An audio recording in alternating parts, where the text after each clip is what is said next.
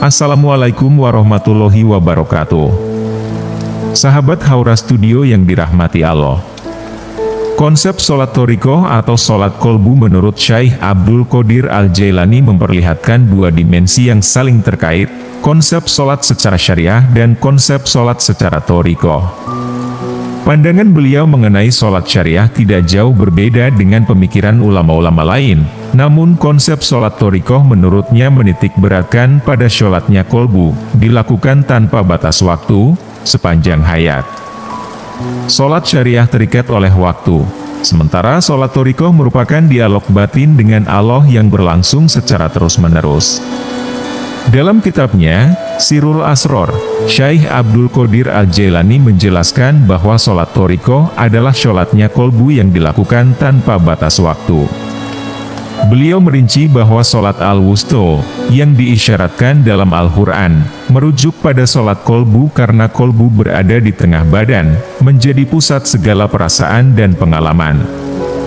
Pandangan ini berbeda dari ulama-ulama lain, di mana beliau menafsirkan sholat wusto sebagai sholat kolbu, sesuai dengan posisi fisik dan makna batiniah kolbu. Hadis yang dikutip beliau menegaskan bahwa kolbu manusia berada di antara dua jari-jari Allah, diputar balikan sesuai dengan kehendaknya. Menurut Syekh Abdul Qadir Al-Jailani, Sholat harus membawa kehadiran kolbu, dan ketika kolbu dilupakan, baik sholat syariah maupun toriko menjadi rusak.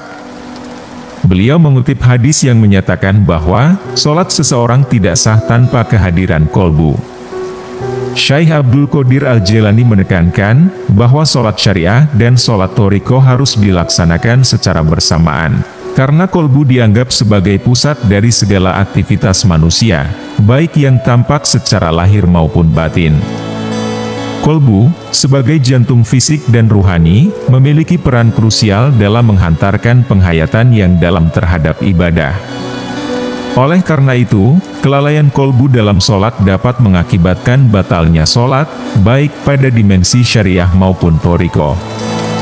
Pandangan Syekh Abdul Qadir Al-Jailani mengingatkan kita, pada pentingnya menyatukan dimensi syariah dan toriko dalam pelaksanaan sholat, menjadikan kalbu sebagai pusat yang memahami dan meresapi kehadiran Allah. Kesadaran terhadap kolbu sebagai tempat munajat dan inti ibadah merupakan kunci utama agar sholat kita dapat diterima oleh Allah Subhanahu wa Ta'ala.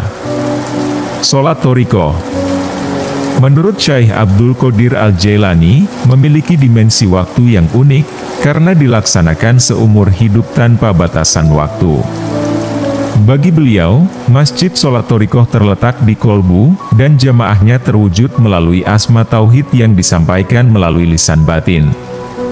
Imam sholat ini adalah rasa rindu yang dalam kolbu, yang mengarah pada kerinduan kepada Allah subhanahu wa ta'ala. Kiblatnya bukan sekadar arah fisik, melainkan hadroh al-ahadiyah, fase tertinggi dari makom roh. Mencerminkan hadirat Allah yang maha tunggal dan keindahannya. Solat Toriko menjadi kiblat yang hakiki, di mana kolbu dan ruh tidak boleh lepas darinya selamanya. Berbeda dengan solat syariah, solat Toriko menjadi ibadah sepanjang hidup. Meskipun sholat syariah telah selesai, sholat torikoh tetap berlanjut, dan kolbu tetap terhubung dengan sholat ini selamanya. Ini sejalan dengan perintah Al-Quran, dan dirikanlah sholat untuk mengingatku, Al-Imran ayat 191. Dalam sholat kolbu, ingatan kepada Allah dan zikir kepadanya harus dilakukan terus-menerus, baik dalam berdiri, duduk, maupun berbaring. Syekh Abdul Qadir Al-Jailani menekankan bahwa dalam menjalankan sholat toriko, kolbu tidak boleh tidur atau mati. Kolbu selalu aktif, baik saat tidur maupun terjaga. Sholat toriko dilakukan melalui kehidupan kolbu tanpa suara, tanpa posisi berdiri, dan tanpa duduk. Orang yang melaksanakan sholat toriko, selalu berhadapan dengan Allah Azza wa Jalla, senantiasa mengucapkan, kepadamu kami beribadah, dan kepadamu kami memohon pertolongan, serta mengikuti jejak Nabi Muhammad Shallallahu Alaihi Wasallam. Menafsirkan ayat Al-Fatihah ayat 5, Al-Qodi, Syekh Nasiruddin Abul Khair, menyatakan bahwa ayat tersebut mengisyaratkan kolbu seorang ahli makrifat kepada Allah, yang telah berpindah dari keadaan gaib kepada hadroh al-ahadiyah. Sesuai dengan sabda Nabi Shallallahu Alaihi Wasallam, para nabi dan para wali selalu sholat di dalam kuburnya, seperti halnya mereka sholat di rumahnya. Ini menggambarkan kesibukan mereka dalam bermunajat kepada Allah Azza wa Jalla, karena kehidupan kolbu yang tetap hidup. Syekh Abdul Qadir Al-Jailani menegaskan bahwa saat sholat syariah dan salat tarikah berpadu secara zahir dan batin, sholat itu menjadi sempurna dan mendapatkan pahala yang besar. Bagi beliau, pahala sholat syariah adalah surga, sedangkan pahala sholat torikoh adalah al-qurbah, kedekatan dengan Allah. Orang yang melaksanakan sholat ini, menjadi ahli ibadah di segi lahiriah, dan makrifat kepada Allah di segi batiniah. Wallahu alam. Sahabat, terima kasih sudah menyimak sampai akhir video, nantikan kembali konten-konten penuh hikmah dari channel kami. Jangan lupa untuk subscribe dan menyalakan lonceng notifikasinya.